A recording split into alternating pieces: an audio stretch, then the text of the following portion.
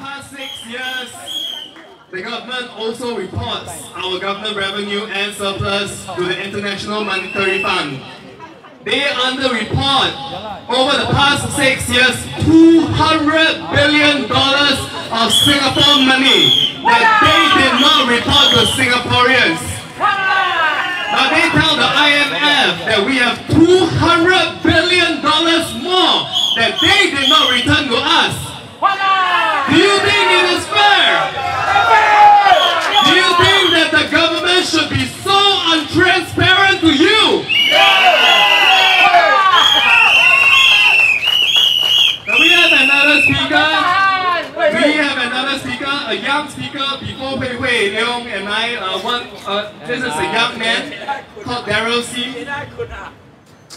Can we please invite Daryl C onto the stage?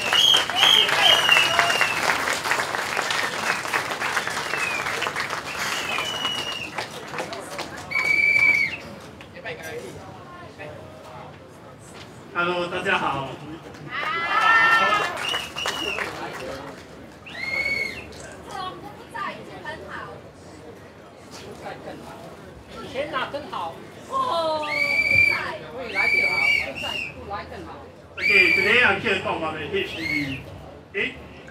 Um, I think we all know that many years ago HDB was affordable. Around 10 years ago, HDB flats are around 200,000 or less for resale flats. Now they are around 400,000.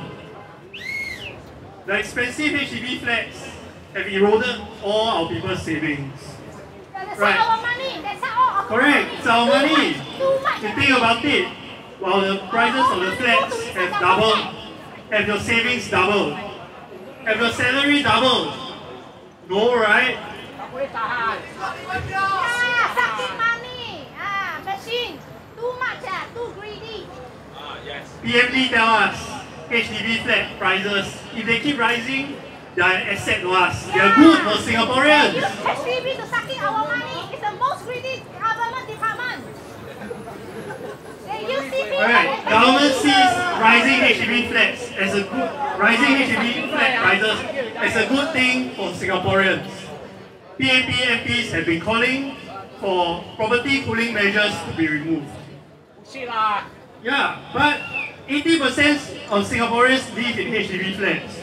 Most of us regard our flats as our homes, not for investments.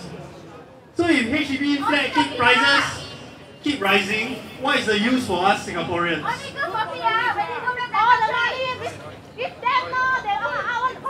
Correct, we keep staying in our homes. We don't intend to sell them. This, the HDB flat we buy are meant to be our homes. And we live till we are old. So what is the use of rising prices if we don't cash them in? Oh, spirit, is it?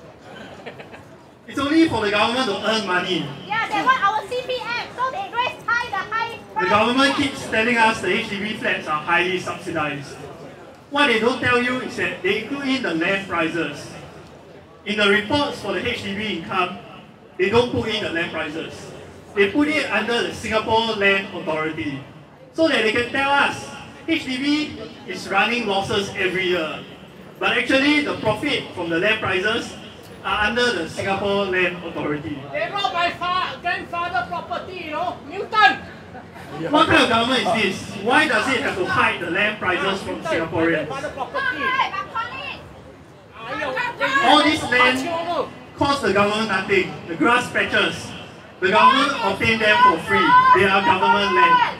But why does the government need to charge us land prices for land that does not cost them anything? And then they still call it subsidized. What a lie. Subsidize little bit only. Ah. And regarding uh, the HDB leases, we pay land prices for HDB. Yet the HDB does not belong to us. They tell us that this is leases that we bought the right to stay in these HDB flats. But we don't own the land that HDB is built upon. So essentially, we are renting these HDB flats from the government for such high prices. Yeah. About half a million dollars. No, we so high prices. Ridiculous. Yeah. I know.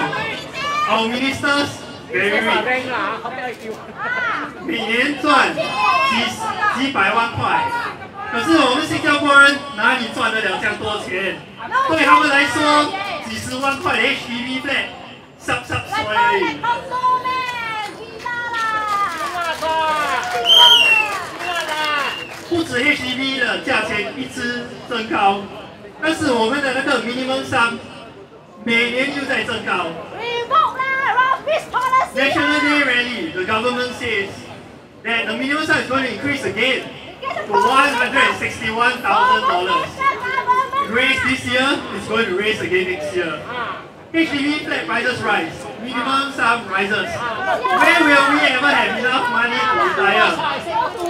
All the money you have saved, all used to pay for the HDB flat. You won't have enough money to retire. You will not be able to touch your minimum sum. Right, how can Singaporeans ever hope to touch their hard-earned CPF money?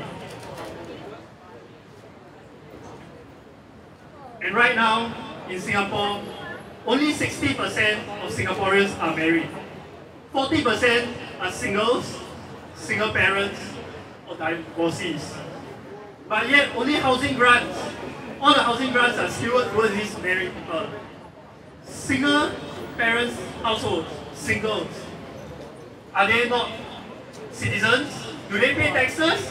I think all Singaporeans pay taxes. GST first ah, GST But yet, the Singapore government cherry picks the married couples and directs the housing grants to them.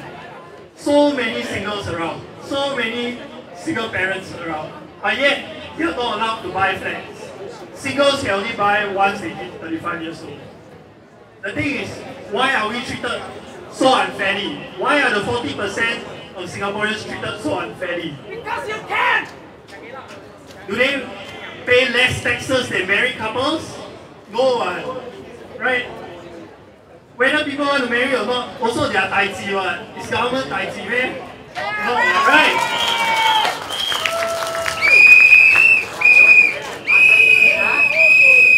And we also know the government allows many new All the important new citizens.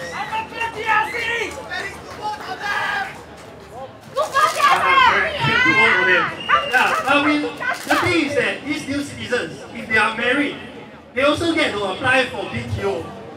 But our single Singaporeans, let's say for the guys who serve NS, after serving two years of NS, you still have to wait until 35 years, then you can buy a flat.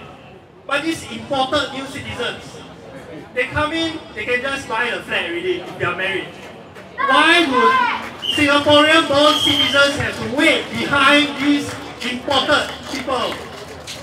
Is it fair or not? Singapore second class. Precisely, what is our citizenship for? Yes, we are like a second class citizens in our own country.